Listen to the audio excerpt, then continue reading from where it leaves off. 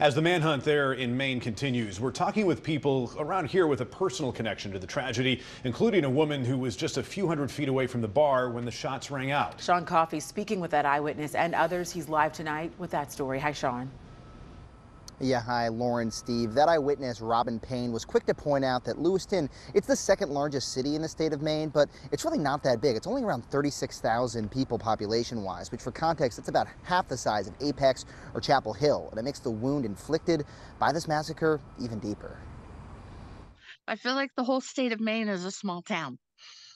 And I think probably everyone in the state is going to know someone that was impacted. Tonight, ABC 11 Eyewitness News is hearing firsthand the terrifying moments after a gunman opened fire in Lewiston, killing at least 18 people. Robin Payne lives just down the block from Schemengees Bar and Grill, where eight people were found dead. There were dozens of police vehicles right in front of my house.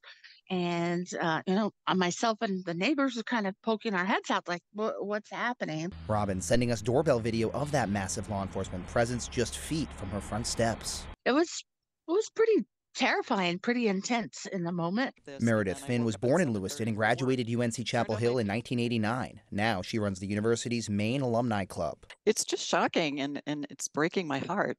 Heartbroken that she believes the town will never be the same. They'll always be thinking in the back of their head if I go to this public place, what might happen?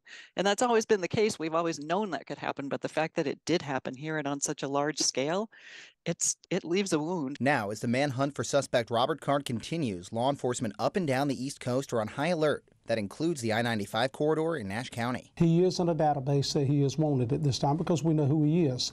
Our proactive approach as working I 95, you got to think in less than 18 hours, he can be in Nash County. But with Card still at large nearly 24 hours after the massacre, people like Robin remain on edge, unsure of what could happen next. It's very scary. He could he could be anywhere. He could totally disappear or, you know, God forbid, ambush someone. And I think that's kind of in the back of everybody's mind. And speaking to Robin's first point about the number of people in Maine that will likely know someone impacted by this shooting, during our conversation, Meredith said her boss had just called and told her that she had to cancel a meeting because her husband, who's from Lewiston, learned that a classmate had actually been killed in the massacre. So just a, a really rough 24 hours for a community that's never experienced anything like this before. -hmm. Live in Raleigh, Sean Coffey, ABC 11 Eyewitness News.